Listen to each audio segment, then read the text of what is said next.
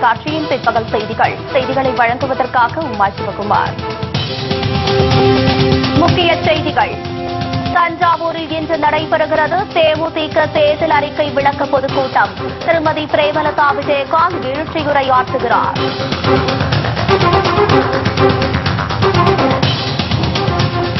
தமிழகத்தை முன்னேற்ற பாதைக்கு அழைத்து செல்ல ஊழல் இல்லாத ஆட்சி அமைய கேப்டன் விஜயகாந்திற்கு ஒருமுறை வாய்ப்பளியுங்கள். திருமதி பிரேமலதா விஜயகாந்த் வேண்டுகோள்.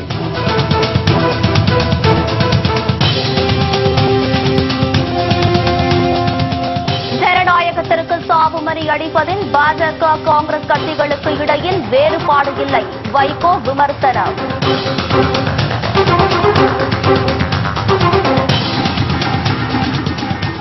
மயில்சாமி அண்ணாதுரை உள்ளிட்ட ஐம்பத்தி ஆறு பேருக்கு பத்ம விருதுகள். விருதுகள் வழங்கி கௌரவித்தார் குடியரசுத் தலைவர் பிரணாப் முகர்ஜி.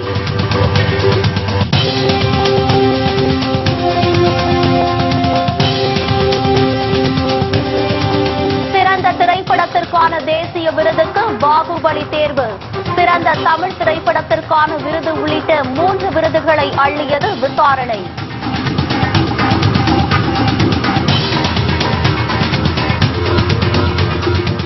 விரிவான செய்திகள். தஞ்சாவூரில் இன்று மாலை நடைபெறும் தேமுதிக தேர்தல் அறிக்கை விளக்க பொதுக்கூட்டத்தில் திருமதி பிரேமலதா விஜயகாந்த் கலந்து கொண்டு சிறப்புரையாற்றவுள்ளார் தமிழக சட்டமன்ற பொதுத் தேர்தல் மே பதினாறாம் தேதி நடைபெறவுள்ளது இத்தேர்தலில் வெற்றி பெற்று தேமுதிக தலைமையில் ஆட்சி அமைந்தால் மேற்கொள்ளப்பட வேண்டிய நடவடிக்கைகள் என்ன என்பது தொடர்பான இரண்டு பகுதிகள் அடங்கிய தேர்தல் அறிக்கையை கேப்டன் விஜயகாந்த் வெளியிட்டுள்ளார். பதவியேற்ற நான்கு மாதத்தில் வேலையில்லா பட்டதாரிகளுக்கு வேலைவாய்ப்பு உள்ளிட்ட முக்கிய அறிவிப்புகள் அதில் இடம்பெற்றுள்ளன. இந்நிலையில் இந்த அறிவிப்புகளை தமிழக மக்களிடம் எடுத்துக் கூறும் வகையில் கடந்த வெள்ளிக்கிழமை முதல் தேர்தல் அறிக்கை விளக்க பொதுக்கூட்டம் நடைபெற்று வருகிறது. இந்நிலையில் தஞ்சாவூரில் இன்று மாலை நடைபெறும் தேமுதிக தேர்தல் அறிக்கை விளக்க பொதுக்கூட்டத்தில் திருமதி பிரேமலதா விஜயகாந்த் கலந்து கொண்டு சிறப்புரையாற்றுகிறாா் இதனை முன்னிட்டு அங்கு மேடை அமைக்கும் பணியில் தொண்டர்கள் தீவிரமாக ஈடுபட்டு வருகின்றனர். முன்னதாக நேற்று மதுரையில் நடைபெற்ற தேர்தல் அறிக்கை விளக்க பொதுக்கூட்டத்தில் பேசிய திருமதி பிரேமலதா விஜயகாந்த் தமிழகத்தை முன்னேற்ற பாதைக்கு அழைத்து செல்ல ஊழல் இல்லாத ஆட்சி அமைய கேப்டன் விஜயகாந்திற்கு ஒருமுறை வாய்ப்பளியுங்கள் என்று வேண்டுகோள் விடுத்தார். சொன்னீங்க திமுக சரியா ஆட்சி பண்ணுதோ இல்லையோ வேற வழி இல்ல அதிமுக ஓட்டு போட்டோம். அதிமுக ஒழுங்கா ஆட்சி பண்ணுதோ இல்லையோ வேற வழி இல்ல. திமுகவுக்கு ஓட்டு போட்டோம். ஏன்னா அந்த ரெண்டு கட்சியை விட்டா இங்க யாரும் இல்ல. ஆனால் இந்த மண்ணின் மைந்தர் உங்கள் வீட்டு பிள்ளை கருப்பு எம்ஜிஆர். இன்னைக்கு முதலமைச்சர் வேட்பாளராக தேசிய முற்போக்கு திராவிட கழகம் மக்கள் நல கூட்டணியும் இணைந்து உங்களுக்காக நான் இருக்கிறேன். அந்த மாற்று அரசியலை அந்த மாற்று திருப்பு முனையை தமிழகத்துல உருவாக்க நான் உங்களுக்காக இருக்கிறேன் என்று இன்றைக்கு தைரியமான முடிவெடுத்து கேப்டன் உங்களுக்காக வந்திருக்கார். அம்மாக்கும் ஓட்டு போட்டாச்சு ஐயாவுக்கும் ஓட்டு போட்டாச்சு. உங்க அண்ணனுக்கு ஒரு வாய்ப்பை கொடுங்கள். உங்கள் அண்ணன் நிச்சயமாக தமிழ்நாட்டில் திருப்பு முனையை ஏற்படுத்தி மாற்றத்தை உறுதியா கொண்டு வருவார் என்பதுல எந்த மாற்று கருத்துமே இல்லை. பழமொழி சொல்லுவாங்க ஒரு வில் ஒரு சொல் ஒரு இல் அப்படிம்பாங்க. கேப்டன் ஒரு கோல் பிக்ஸ் பண்ணா அந்த கோலை அடையாம விடவே மாட்டார். அதுதான் ஒரு வில். ஒரு வார்த்தை சொன்னா அந்த வார்த்தையிலிருந்து கேப்டன் மாறவே மாட்டார். அதுதான் ஒரு சொல். ஒரு இல் எப்படி ஒரு குடும்பம் இருக்கணும் என்பதற்கு தமிழக இருக்கிற அத்தனை தலைவர்களுக்கும் சிறந்த உதாரணமாக இந்த மதுரை மண்ணின் மைந்தர் இன்னைக்கு ஒரு நல்ல குடும்ப தலைவராக இருக்கிறார். ஒரு நல்ல குடும்ப தலைவருக்கு தன் நாட்டையும் நல்ல வழியாக கொண்டு செல்லும் தகுதி நிச்சயமாக இருக்கிறது என்பதுல மாற்று கருத்தே இல்லை. உத்தரகாண்டில் குடியரசுத் தலைவர் ஆட்சி அமல்படுத்தப்பட்டிருப்பது ஜனநாயகத்திற்கு சாவுமணி அடிப்பதில் பாஜக காங்கிரஸ் கட்சிகளுக்கு இடையில் எந்த வேறுபாடும் இல்லை என்பதை காட்டுவதாக உள்ளதாக மதிமுக பொதுச் செயலாளர் வைகோ தெரிவித்துள்ளார். இது தொடர்பாக அவர் வெளியிட்டுள்ள அறிக்கையில் மத்திய அமைச்சரவை பரிந்துரையின் பேரில் ஹரிஷ் ராவத் அமைச்சரவை கலைக்கப்பட்டு இருப்பது அப்பட்டமான ஜனநாயக படுகொலை என்றும் கண்டனத்திற்கு உரியது என்றும் தெரிவித்துள்ளாா் முந்தைய ஆட்சியில் காங்கிரஸ் கட்சி செய்ததையே தற்போது பாஜக செய்து வருவதாகவும் அவர் சாட்டியுள்ளார் இதன் மூலம் ஜனநாயகத்திற்கு சாவுமணி அடிப்பதில் இந்த இரு கட்சிகளுக்கு இடையில் எந்த வேறுபாடும் இல்லை என்பது தெளிவாகியுள்ளதாக கூறியுள்ளார். மேலும் மாநில சட்டமன்ற உறுப்பினர்களை விலைக்கு வாங்கி புறவாசல் வழியாக ஆட்சிக்கு வருவதற்கு குதிரை பேரம் நடத்தும் பாஜகவின் முயற்சியை குடியரசுத் தலைவர் முறியடிக்க வேண்டும் என்றும் வைகோ கேட்டுக் கொண்டுள்ளார் தமிழக விஞ்ஞானி மயில்சாமி அண்ணாதுரை உள்ளிட்ட ஐம்பத்தி ஆறு பேருக்கு குடியரசுத் தலைவர் பிரணாப் முகர்ஜி விருதுகள் வழங்கி கௌரவித்தார். ஜனாதிபதி மாளிகையில் நடைபெற்ற விழாவில் இவ்விருதுகள் வழங்கப்பட்டன. இரண்டாயிரத்தி பதினாறாம் ஆண்டிற்கான பத்ம விருதுகள் பெறுவோரின் பெயர்களை குடியரசு தினத்தன்று மத்திய அரசு வெளியிட்டது. மறைந்த பிரபல தொழிலதிபர் திருபாய் அம்பானி நடிகர் ரஜினிகாந்த் இஸ்ரோ விஞ்ஞானி மயில்சாமி அண்ணாதுரை உள்ளிட்ட நூற்று பனிரண்டு பேர் இந்த பட்டியலில் இடம்பெற்றனர்.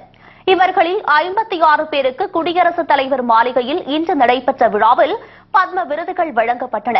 ஐந்து பத்ம விபூஷன் எட்டு பத்ம பூஷன் மற்றும் நாற்பத்தி மூன்று பத்மஸ்ரீ விருதுகளை குடியரசுத் தலைவர் பிரணாப் முகர்ஜி வழங்கினார். திருபாய் அம்பானி அவினாஷ் கமலாகர் ஜக்மோகன் யாமினி கிருஷ்ணமூர்த்தி ஸ்ரீ ஸ்ரீ ரவிசங்கர் ஆகியோருக்கு பத்ம விபூஷன் விருதுகளையும் அனுபம் புஷ்கர் நாத்கர் செயினா நேவால் உள்ளிட்டோருக்கு பத்மபூஷன் விருதுகளும் வழங்கப்பட்டன. மயில்சாமி அண்ணாதுரை மதுர் ஆர் பதந்தர்கா அஜய் தேவ்கன் தீபிகா குமாரி முகமது இம்தியாஸ் குரேசி உள்ளிட்ட நாற்பத்தி மூன்று பேருக்கு பத்மஸ்ரீ விருதுகள் இன்று வழங்கப்பட்டன. இவ்விழாவில் பிரதமர் நரேந்திர மோடி பாஜக மூத்த தலைவர் அத்வானி மத்திய அமைச்சர்கள் பலர் கலந்து கொண்டனர். பத்ம விருதுகள் அறிவிக்கப்பட்ட ரஜினிகாந்த் பிரியங்கா சோப்ரா சாரிகா வர்சா உள்ளிட்ட மீதமுள்ளவர்களுக்கு அடுத்த மாதம் பத்ம விருதுகள் வழங்கப்பட உள்ளது. தமிழகம் முழுவதும் நடத்தப்பட்ட வாகன சோதனையில் இதுவரை நூற்று ஐந்து கிலோ கஞ்சாவும் ஆறாயிரம் கிலோ அமெரிக்க டாலர்களும் பறிமுதல் செய்யப்பட்டுள்ளதாக தமிழக தலைமை தேர்தல் அதிகாரி ராஜேஷ் லக்கானி தெரிவித்துள்ளார். சென்னை தலைமை செயலகத்தில் செய்தியாளர்களிடம் பேசிய அவர் அடுத்த மாதம் இருபத்தி இரண்டாம் தேதிக்கு பிறகு மத்திய தேர்தல் பார்வையாளர்கள் தமிழகம் வரலாம் என்று எதிர்பார்க்கப்படுவதாக தெரிவித்தார். வாக்காளர் பட்டியலில் பெயர் மாற்றம் திருத்தம் முகவரி மாற்றம் ஆகியவற்றிற்காக சமர்ப்பிக்கப்பட்ட விண்ணப்பங்கள் பரிசீலிக்கப்பட்டு ஏப்ரல் பதினெட்டாம் தேதி வாக்காளர் அட்டைகள் வழங்கப்படும் என்றும் கூறினார். அவேர்னஸ் uh, விடுப்புணர்ச்சிக்கு நம்ம இன்னொரு புது விடுப்புணர்ச்சி மு- முயற்சியாக ஷாப்பிங் பேக் எல்லா கடைக்காரர்கிட்ட கேட்ட கடையில கொடுக்குறது பையில ஒரு சைட்ல சிக்ஸ்டீன் பதினாறுமே கண்டிப்பா வாலு- வாக்களிங்கள் ஒரு uh, பேனர் அவங்க சைடில் பிரிண்ட் பண்ணிட்டு இருக்காங்க அடுத்த சைடில் அவங்களோட அட்வர்டைஸ்மெண்ட் ஸோ இது பிரிண்ட் பண்றதுக்கு நிறைய கடை ஒத்துக்கிட்டாங்க. நிறைய டிஸ்ட்ரிக்ட்ல ஆரம்பிச்சிட்டாங்க. சென்னையிலயும் ஒன்னாம் தேதியில இருந்து எல்லா கடையில் கடையில இருக்குது. பையில ஒரு சைடில் பதினாறுமே கண்டிப்பா வாக்களிங்கள் பிரிண்ட் பண்ணி கொடுப்பாங்க. நூற்று பதினாறு ஆதரவற்ற மற்றும் முதியோர் இல்லங்களில் கடந்த இருபத்தைந்தாம் தேதி முதல் ஐந்தாம் தேதி வரை வாக்காளர் பெயர் சேர்த்தலுக்கான சிறப்பு முகாம் நடைபெற்று வருவதாகவும் லக்கானி அப்போது கூறினார்.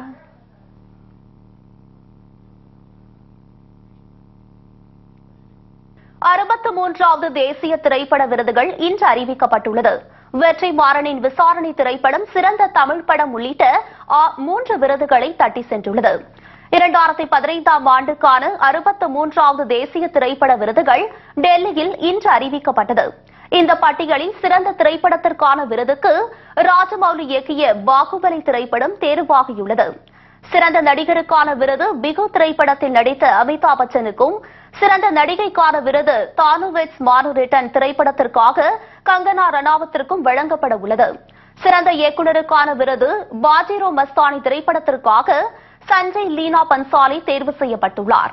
சிறந்த பின்னணி இசைக்கு இசைஞானி இளையராஜா தேர்வு செய்யப்பட்டுள்ளார். தாரை தப்பட்டை திரைப்படத்தில் சிறந்த பின்னணி இசைக்காக இளையராஜாவுக்கு இந்த விருது வழங்கப்படுகிறது. வெற்றிமாறனின் விசாரணை திரைப்படம் மூன்று விருதுகளுக்கு தேர்வு செய்யப்பட்டுள்ளது. சிறந்த தமிழ் திரைப்படம் படத்தொகுப்பாளர் விருது சிறந்த துணை நடிகர் உள்ளிட்ட விருதுகளுக்கு தேர்வு செய்யப்பட்டுள்ளது. சிறந்த துணை நடிகருக்கான விருதை சமுத்திரக்கணி பெறுகிறார். இறுதி சுற்று திரைப்பட நாயகி ரித்திகா சிங்குக்கு சிறப்பு விருது வழங்கப்பட உள்ளது. திரைப்படத்துறைக்கு உகந்த மாநிலமாக குஜராத் தேர்வு செய்யப்பட்டுள்ளது. சிறந்த அனிமேஷன் திரைப்படத்திற்கு டுக் டுக் விருது வழங்கப்படுகிறது.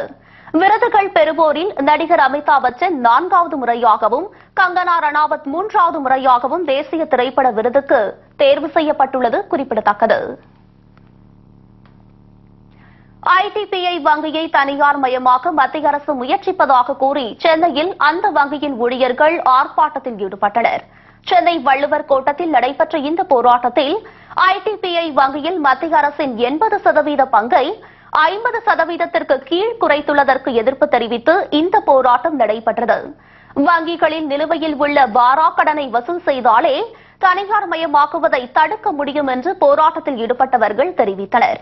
தனியார் மயமாக்க மாட்டோம் என கடந்த இரண்டாயிரத்தி மூன்றாம் ஆண்டு உறுதியளித்துவிட்டு தற்போது அதற்கான முயற்சியை பாஜக அரசு மேற்கொள்வதற்கு போராட்டத்தில் கண்டனம் தெரிவிக்கப்பட்டது மத்திய அரசுக்கு எதிரான முழக்கங்களும் அப்போது எழுப்பப்பட்டன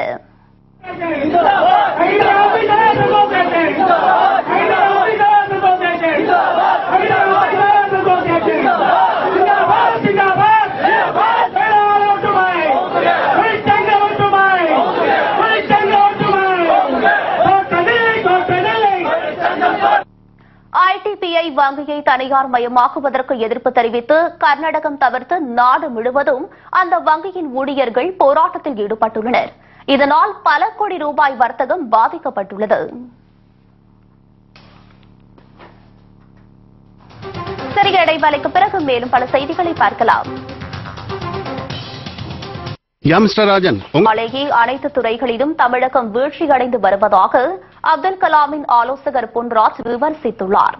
திண்டுக்கல்லில் செய்தியாளர்களிடம் பேசிய அவர் நூற்று பத்து விதியின் கீழ் அறிவிக்கப்பட்ட விவசாய கட்டமைப்பு திட்டங்கள் எதுவும் செயல்பாட்டிற்கு வரவில்லை என்றார். நால்வரணி என கூறப்படும் அமைச்சர்களிடம் இருந்து பறிமுதல் செய்யப்பட்ட முப்பதாயிரம் கோடி ரூபாய் பணத்தை விவசாயம் தொழில்துறை மின்துறை சேவைத்துறை போன்றவற்றிற்கு பயன்படுத்த இருக்கலாம் என்றும் கூறினார். செயல்படாத முதலமைச்சராலேயே அனைத்து துறைகளிலும் தமிழகம் வீழ்ச்சியடைந்து வருவதாகவும் பொன்ராஜ் அப்போது குற்றம் சாட்டினார். என்று சொல்லப்படக்கூடிய நான்கு அமைச்சர்கள்ட்ட முப்பதாயிரம் கோடி வந்து ரெக்கவர் பண்ணிருக்காங்கன்னு செய்தி வந்தது. அது உண்மையா பொய்யான்னு எனக்கு தெரியாது. தொழில் விவசாயம் செய்ய முடியாமல் கடன் கட்ட முடியாமல் போன வாரா கடன் தொழிலாளர்கள் வந்து இண்டஸ்ட்ரியை வந்து மூடிட்டு போன வாரா கடன் சேவைத்துறை மூடிட்டு போன வாராக்கடன் முப்பத்தி ரெண்டாயிரம் கோடி. ஆனா இந்த நான்கு அமைச்சர்கிட்ட வந்து முப்பதாயிரம் கோடி ரிகவர் பண்ணிருக்காங்கன்னு சொல்லி இன்னைக்கு நியூஸ் வருது அப்படின்னா நீங்க வந்து என்ன நிலைமைக்கு வந்து இந்த நாடு சென்றிருக்கிறது என்பதை மட்டும் பாருங்கள். தஞ்சை குறுங்குளம் அரசு சர்க்கரை ஆலையில் கரும்பு விவசாயிகள் தர வேண்டிய முப்பத்தி ஒன்பது கோடி ரூபாய் தராததை கண்டித்து நாளை முற்றுகை போராட்டம் நடத்தவுள்ளதாக தமிழக விவசாயிகள் சங்க ஒருங்கிணைப்பு குழு தலைவர் பி ஆர் பாண்டியன் தெரிவித்துள்ளார். மன்னார்குடியில் செய்தியாளர்களிடம் பேசிய அவர் கடந்த மூன்று மாதத்தில் மட்டும் கரும்பு கொள்முதல் செய்ததற்காக குறுங்குளம் அரசு சர்க்கரை ஆலை நிர்வாகம் முப்பத்தி ஒன்பது கோடி ரூபாய் பணத்தை பாக்கி வைத்துள்ளதால் மிகப்பெரிய நெருக்கடியை விவசாயிகள் சந்தித்து வருவதாக கூறினாா் எனவே நிலுவைத் தொகையை உடனடியாக வழங்க கோரி நாளை குறுங்குளம் சர்க்கரை ஆலையை முற்றுகையிட்டு போராட்டம் நடத்தவுள்ளதாகவும் அவர் தெரிவித்தார். இறப்பது தினந்தோறும் கூடிக்கொண்டே இருக்கிறது. வாங்கிய கடனை திருப்பி செலுத்த முடியவில்லை. உற்பத்தி செய்கிற பொருளுக்கு விவசாயிக்கு கட்டுப்படியான விலை கிடைக்கவில்லை. உரிய அளவில் தேவையான அடிப்படை கட்டமைப்பு இல்லாததால் விவசாயிகள் தற்கொலை செய்து கொள்கிறார்கள். இந்த துயரமான நிகழ்வுகள் ஒரு பக்கம் நிகழ்ந்து கொண்டே இருக்கிறது ஒரு பக்கம் கரும்பு விவசாயிகள் போராடி கொண்டே இருக்கிறார்கள். கரும்புக்கு கட்டுப்படியான விலை கேட்டு போராடி கொண்டிருக்கிறோம் நிலுவைத் தொகை வழங்க வேண்டும் என்று போராடி கொண்டிருக்கிறோம். எனவே குறுங்குளம் சர்க்கரை ஆலை நிர்வாகம் உடனடியாக இந்த முப்பத்தி ஒன்பது கோடி ரூபாய் பணத்தை விவசாயிகளுக்கு உடனடியாக வழங்க வேண்டும். ஆடிட்டர் ராதாகிருஷ்ணன் தாக்கப்பட்ட வழக்கில் குற்றம் சாட்டப்பட்ட காஞ்சி சங்கராச்சாரியார் ஜெயேந்திரர் சென்னை உயர்நீதிமன்றத்தில் இன்று நேரில் ஆஜராகி சாட்சியளித்தார். கடந்த இரண்டாயிரத்தி இரண்டாம் ஆண்டு சென்னை மந்தவெளியில் ஆடிட்டர் ராதாகிருஷ்ணன் தாக்கப்பட்ட வழக்கில் காஞ்சி சங்கராச்சாரியார் ஜெயேந்திரர் உள்ளிட்ட பனிரண்டு பேர் மீது வழக்கு பதிவு செய்யப்பட்டது. இந்த வழக்கு சென்னை முதலாவது செஷன்ஸ் நீதிமன்றத்தில் இன்று விசாரணைக்கு வந்தது. அப்போது நீதிபதி ராஜமாணிக்கம் முன்பு ஆஜரான ஜெயேந்திரர் உள்ளிட்டோர் சாட்சியளித்தனர். நீதிபதி கேட்ட நூறு கேள்விகளுக்கு தெரியாது என்ற பதிலை மட்டுமே ஜெயேந்திரர் கூறியுள்ளார். மேலும் இந்த வழக்கிற்கும் தனக்கும் எவ்வித தொடர்பும் இல்லை என்றும் அவர் தெரிவித்துள்ளார். திருத்தணி அருகே ஏலம் விடப்பட்ட ஏரியில் மீன்பிடித்த வாலிபர்களை தட்டி கேட்ட காவலாளி அடித்து கொலை செய்யப்பட்ட சம்பவம் பரபரப்பை ஏற்படுத்தியுள்ளது. திருவள்ளூர் மாவட்டம் திருத்தணி அடுத்த வேலஞ்சேரி கிராமத்தில் பொதுப்பணித்துறைக்கு சொந்தமான நீர்ப்பாசன ஏரி உள்ளது. இந்த ஏரியின் மூலம் சுமார் ஐநூறு ஏக்கர் விவசாய நிலங்கள் பாசன வசதி பெற்று வருகிறது. இந்நிலையில் சமீபத்தில் பெய்த மழையால் ஏரியில் நன்கு வளர்ந்துள்ள மீன்களை தனிநபர் ஒருவர் ஏலம் எடுத்து அதற்கு காவலாளியாக அன்பழகன் என்பவரை நியமித்தார். இந்நிலையில் அந்த ஏரியில் அனுமதியின்றி மீன்பிடித்துக் கொண்டிருந்த இரு இளைஞர்களை அன்பழகன் தட்டி கேட்டுள்ளார். இதில் அவர்களுக்குள் வாக்குவாதம் முற்றியதால் ஆத்திரமடைந்த இளைஞர்கள் அன்பழகனை அடைத்து கொலை செய்தனர். இச்சம்பவம் குறித்து வழக்கு பதிவு செய்துள்ள போலீசார் இளைஞர்களை தேடி வருகின்றனர். தமிழ் தேசியம் என்று சொல்லிக் கொண்டு சீமான் போன்றோர் நாட்டை விற்க விலை பேசுவதாக விஜய பாரத மக்கள் அமைப்பு குற்றம் சாட்டியுள்ளது. ஆம்பூரில் பேசிய அந்த அமைப்பின் தலைவர் ஜெய்சங்கர் இதனை கூறினார். பாஜகவால் தமிழகத்திற்கு எந்தவித பயனும் இருக்கப் போவதில்லை என்றும் அவர் சாடினார். திருத்தணி அருகே கிணற்றில் தவறி விழுந்த பள்ளி மாணவிகள் மூன்று பேர் நீரில் முழுகி உயிரிழந்த சம்பவம் சோகத்தை ஏற்படுத்தியுள்ளது. திருத்தணி எஸ்பி கண்டிகையை சேர்ந்த ஸ்ரீமதி ரோஜா ஹம்சவேணி ஆகிய மூன்று மாணவிகள் அங்குள்ள பள்ளியில் ஆறாம் வகுப்பு படித்து வந்தனர். நேற்று பள்ளி விடுமுறை என்பதால் அங்குள்ள கிணற்றில் அவர்கள் குளிக்க சென்றதாக கூறப்படுகிறது. அப்போது மாணவி ஒருவர் அந்த கிணற்றில் தவறி விழுந்துள்ளார். இதனை கண்டு அதிர்ச்சியடைந்த சக மாணவிகள் அவரை காப்பாற்ற முயற்சித்தபோது அவர்களும் கிணற்றில் விழுந்துள்ளனர். பின்னர் மூன்று மாணவிகளும் நீரில் முழுகி பரிதாபமாக உயிரிழந்தனர். இதேபோல் சித்தூர் மாவட்டம் பாலச்சமுத்திரம் கிராமத்தை சேர்ந்த வெங்கடேசன் என்பவரது மகன் பிரகாஷ் ஆர்கே பேட்டையில் உறவினர் வீட்டிற்கு வந்துள்ளார். அப்போது அங்குள்ள விவசாய கிணற்றில் குளித்துக் கொண்டிருந்த அச்சிறுவன் பாறை மேல் விழுந்ததில் படுகாயமடைந்து உயிரிழந்தார். இதனிடையே சிதம்பரம் அடுத்த குமராட்சியில் மணல் லாரி மோதி எட்டு வயது சிறுவன் உயிரிழந்ததால் ஆத்திரமடைந்த கிராம மக்கள் சாலை மறியல் போராட்டத்தில் ஈடுபட்டனா் அரசு அனுமதியின்றி மணலை கடத்தி செல்லும் லாரிகள் அதிவேகமாக செல்வதாகவும் இதனால் விபத்துக்கள் ஏற்பட்டு உயிரிழப்புகள் அதிகரிப்பதாகவும் அவர்கள் குற்றம் சாட்டினர். பஞ்சாயத்தில் பஞ்சாயத்துல ஒரு அரசுக்கு புறம்பான ஒரு தனி குவாரியை நடந்து கொண்டு நடத்திட்டு வராங்க. அவங்க வரப்ப வந்து இது வந்து நாங்கள் எவ்வளோ வந்து காவல்துறைக்கு நாங்கள் இதை எடுத்து சொல்லி அந்த காவல்துறை இதுக்கு தகுந்த நடவடிக்கை எடுக்கல. அந்த நடவடிக்கை எடுக்காத பட்சத்தில் இப்போ ஒரு எட்டு வயசு குழந்தை என்னோட மாமன் பையன் வந்து இன்னைக்கு இறந்துட்டான். அது காரணம் என்னன்னா இந்த போலீஸும் டிராக்டர் வச்சிருக்க முதலாளி. ஏழு மணிக்கு ஆக்சிடென்ட் ஆயிடுச்சு. ஆனா இன்னமும் அதுக்கு தகுந்த ஒரு போஸ்ட்மார்ட்டமோ எந்த ஒரு எங்களுக்கு ஒரு பதிலும் எங்களுக்கு கொடுக்கல. இவங்க இந்த மருத்துவமனையிலயோ சரி இந்த காவல்துறையும் சரி எங்களுக்கு எந்த ஒரு பதிலும் தக்க நடவடிக்கையும் அளிக்கல. சிறிய இடைவேளைக்கு பிறகு மேலும் பல செய்திகளை பார்க்கலாம். நாமக்கல் மாவட்டம் ராசிபுரத்தில் மத நல்லிணக்கத்தை வலியுறுத்தும் வகையில் நடைபெற்ற விழாவில் இந்துக்களும் இஸ்லாமியர்களும் வீடுகள் தோறும் சந்தனம் பூசி தங்கள் மகிழ்ச்சியை வெளிப்படுத்தினர். ராசிபுரத்தை அடுத்த குருசாமி பாளையத்தில் உள்ள ஸ்ரீ சிவசுப்பிரமணிய சுவாமி கோவிலில் ஆண்டுதோறும் பங்குனி உத்திர தேர் திருவிழா வெகு சிறப்பாக நடைபெறும். கடந்த பதினான்காம் தேதி கிராம சாந்தியுடன் விழா தொடங்கியதை அடுத்து நாள்தோறும் சிறப்பு அபிஷேகங்களும் வழிபாடுகளும் நடைபெற்று வந்தன. சிவசுப்பிரமணிய சுவாமி திருக்கல்யாணம் தேரோட்டம் உள்ளிட்ட நிகழ்ச்சிகளை தொடர்ந்து இந்துக்களும் இஸ்லாமியர்களும் ஒன்றிணைந்து சந்தனம் பூசிக்கொள்ளும் மத நல்லிணக்க நிகழ்ச்சி வெகு சிறப்பாக நடைபெற்றது. இதன் ஒரு பகுதியாக இரு சமுதாய மக்களும் வீடு வீடாக சென்று சந்தனம் பூசினர். மேலும் இரு தரப்பினரும் சம்பிரதாய முறைப்படி வெற்றிலை பாக்கு மாற்றிக்கொண்டனர் அருள்மிகு சிவசுப்பிரமணிய கோயிலுக்கு மஜித் சார்பாக கொடுத்த அழைப்பை ஏற்றுக்கொண்டு நம்முடைய சமூகத்தார்கள் அனைவரும் சேர்ந்து வந்து இருந்து அவர்களுடைய சமூகத்தாரையும் சேர்த்து கொடியேற்றத்துடன் ஊர்வலமாக வந்து ஊர் முழுவதும் சந்தனம் பூசி சந்தன காப்பு விழா நடத்தி பாத்தியா ஓதி குழந்தைகளுக்கு பாடம் போட்டு எல்லாம் செய்து மேற்படி நிகழ்ச்சியினை நிறைவாக செய்து கொடுக்கிறோம். இது நூறாண்டு காலமாக நடைமுறையில் உள்ளது. பல ஆண்டுகளுக்கு முன்பு பிளேக் நோயால் பாதிக்கப்பட்டிருந்த இந்த பகுதி மக்கள் மீண்டு எழும் வகையில் இஸ்லாமியர்கள் ஊர் முழுவதும் இஸ்லாமிய முறைப்படி வழிபாடு நடத்தி வீடுகள் தோறும் சந்தனம் பூசியதை நினைவு கூறும் வகையில் இந்த விழா ஆண்டுதோறும் நடைபெற்று வருவது குறிப்பிடத்தக்கது.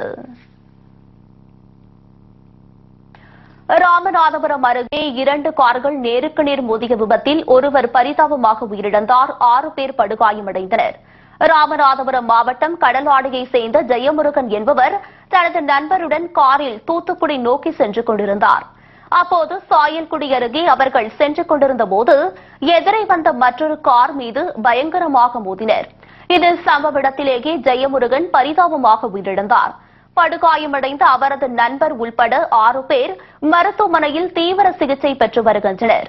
அப்பகுதியில் உள்ள கிழக்கு கடற்கரை சாலை பல ஆண்டுகளாக பராமரிப்பு இன்றி உள்ளதால் அடிக்கடி விபத்துகள் ஏற்படுவதாக பொதுமக்கள் தெரிவித்துள்ளனர். சட்டப்பேரவை தேர்தலில் நூறு சதவீத வாக்குப்பதிவை வலியுறுத்தி தூத்துக்குடியில் நடைபெற்ற கலை நிகழ்ச்சிகள் பார்வையாளர்களை வெகுவாக கவர்ந்தது. இரண்டாயிரத்தி பதினாறு சட்டப்பேரவை தேர்தலில் நூறு சதவீத வாக்குப்பதிவு நடைபெற வேண்டும் என்பதில் தேர்தல் ஆணையம் முனைப்புடன் செயல்பட்டு வருகிறது. இதன் ஒரு பகுதியாக தூத்துக்குடி முத்துநகர் கடற்கரை சாலையில் நூறு சதவீத வாக்குப்பதிவு எனும் வாசகங்களுடன் கூடிய மணல் சிற்பம் வடிவமைக்கப்பட்டிருந்தது. மேலும் இதே கோரிக்கையை வலியுறுத்தி மாணவ மாணவிகள் நடத்தி காட்டிய கலை நிகழ்ச்சிகள் பார்வையாளர்களை வெகுவாக கவர்ந்தன.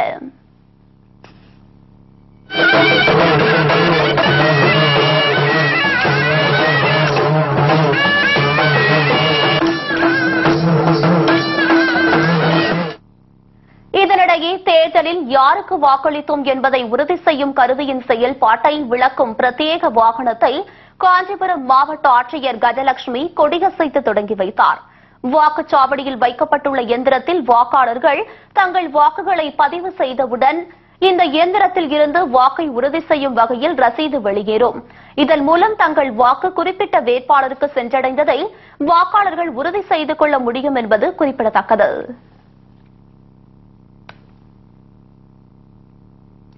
ஆஸ்திரேலியாவை வீழ்த்தி அரையிறுதிக்கு முன்னேறியுள்ள இந்திய அணி வரும் முப்பத்தி ஓராம் தேதி மேற்கிந்திய தீவுகள் அணியை எதிர்கொள்கிறது.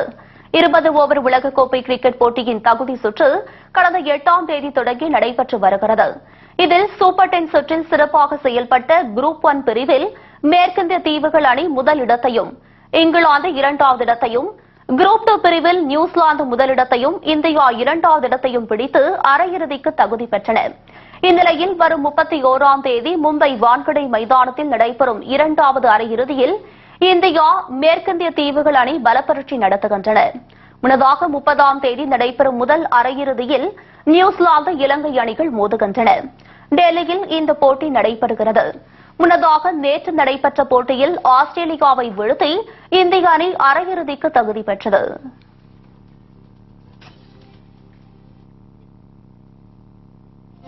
இத்துடன் இந்த செய்தி தொகுப்பு நிறைவடைகிறது. உண்மை செய்திகளை உள்ளது உள்ளபடி உடனுக்குடன் தெரிந்து கொள்ள தொடர்ந்து இணைந்திருங்கள். நமது கேப்டன் தொலைக்காட்சியுடன்.